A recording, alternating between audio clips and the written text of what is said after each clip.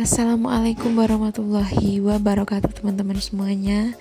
Jumpa lagi dengan saya Bundanya Yasmin.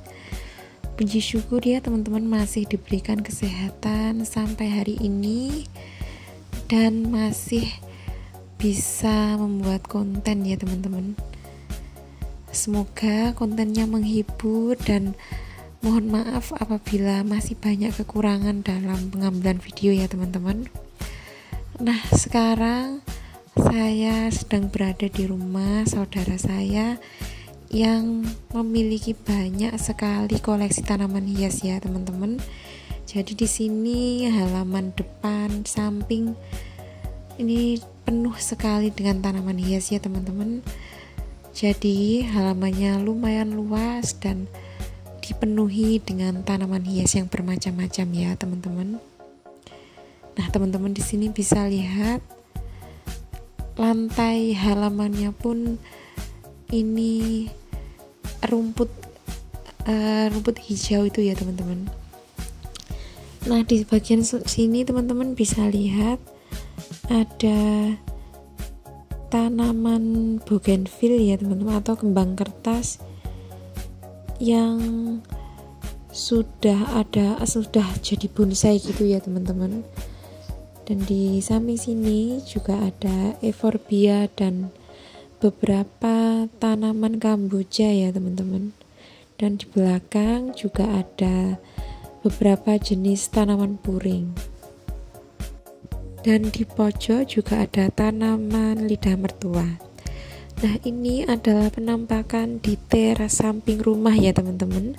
Beberapa tanaman di sini diletakkan di rak kayu yang lumayan tertata rapi ya teman-teman. Di sini kondisinya itu benar-benar bersih ya teman-teman. Rumahnya bersih, halamannya juga bersih dan bunga-bunganya juga tertata rapi ya teman-teman.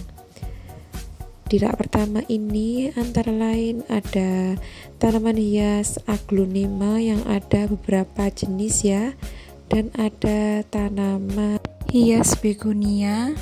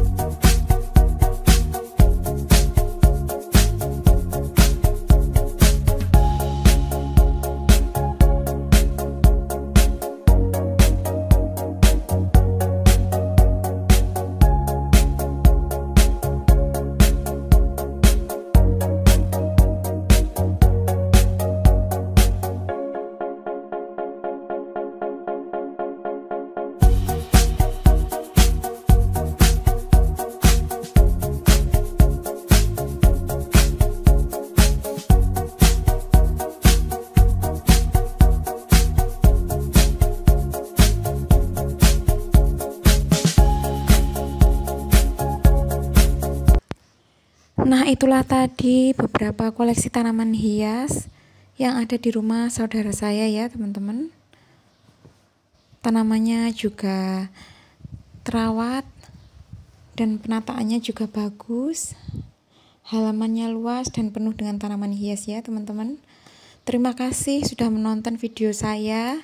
Jangan lupa like, comment, dan subscribe channel Rumah Yasmin ya teman-teman. Mohon dukungannya.